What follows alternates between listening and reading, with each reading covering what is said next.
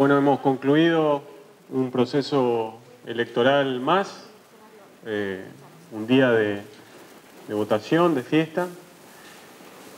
Eh, ha concurrido más del 80% del padrón electoral de la provincia de Misiones a sufragar. Como dijimos hoy a la mañana, a partir de las 21 horas, en la página oficial del Centro de Cómputo de la provincia, que es www.elecciones2019.misiones.gov.ar. Se estarán comenzando a dar, a difundir los datos oficiales que se vayan escrutando del escrutinio provisorio aquí en la provincia de Misiones. Perdón. Eh, como dije, más del 80% del padrón ha concurrido a votar. Nada, ningún hecho relevante que destacar que haya empañado el proceso electoral, más allá del, folclore que suele haber. Hubo ocho personas detenidas por pedido de detención o por un hecho de amenazas, pero nada más. Así que, bueno, estaremos difundiendo a partir de las 21 los, los, datos, los primeros datos que se vayan computando en el centro de cómputo de la provincia de Misiones. Si alguien quiere hacer una pregunta, estoy abierta a la misma.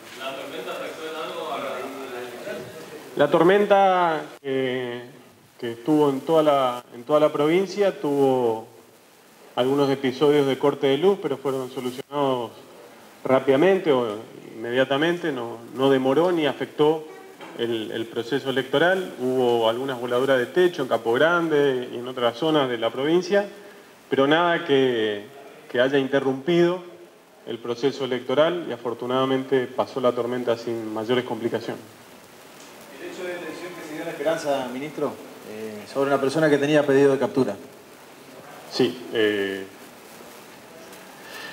en Esperanza hubo tres detenidos por, por causas contravencionales. Otros hechos hubo también en San Vicente, en El Dorado, en Puerto Libertad, Posadas y Oberá. Algunos tienen que ver con, con cuestiones de violencia y otros son pedidos de detención por parte de la justicia. Se los aprende y se los pone a disposición de la justicia.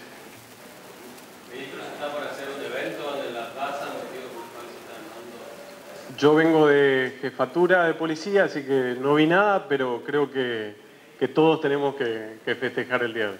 Muchas gracias a todos. Ministro, ¿un porcentaje alto de electores a qué le atribuye?